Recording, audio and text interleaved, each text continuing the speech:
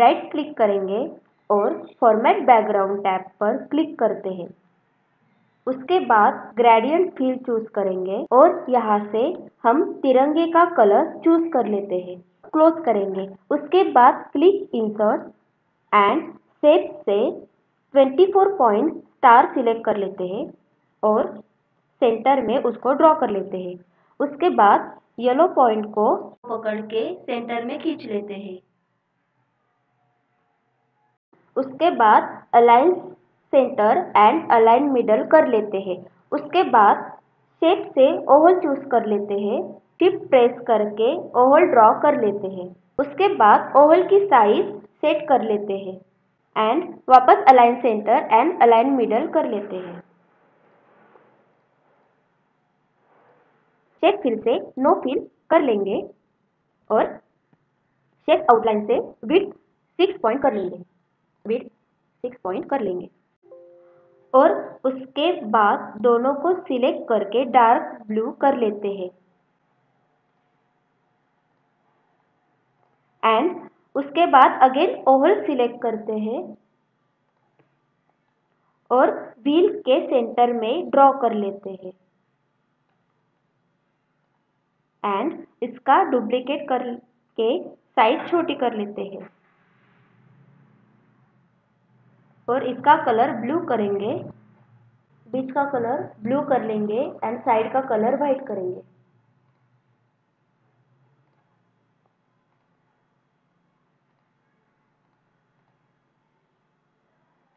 और सेंटर में सेट कर देते हैं। और कंट्रोल ए से सबको सिलेक्ट कर लेंगे एंड राइट क्लिक करके ग्रुप बना लेंगे। अब दो मिनट के लिए इसको साइड में रख देते हैं। और उसके बाद वर्ड आर्ट से कोई भी ऑप्शन चूज़ करते हैं। यहाँ लिखेंगे happy republic day and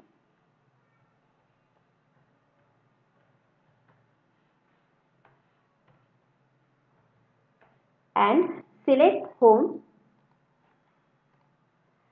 increase size इसको सिलेक्ट कर लेते हैं। ड्राइंग टूल्स फॉर्मेट में आ जाएँगे।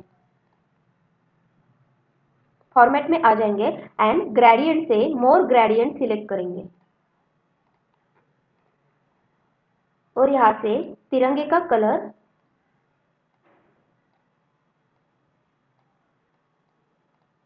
तैयार कर लेते हैं।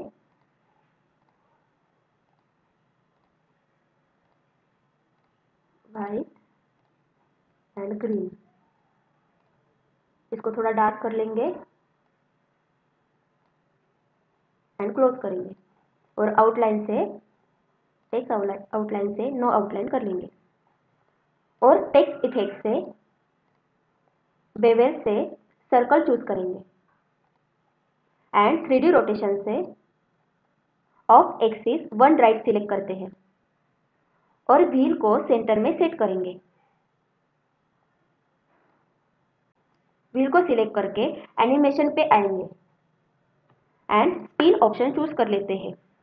उसके बाद टेक्स्ट चूज़ करते हैं और एनिमेशन से रैंडम बार सिलेक्ट करेंगे। अब एनिमेशन पेन को ओपन कर लेते हैं एंड व्हील ऑप्शन सिलेक्ट करके टाइमिंग पे आ जाते हैं।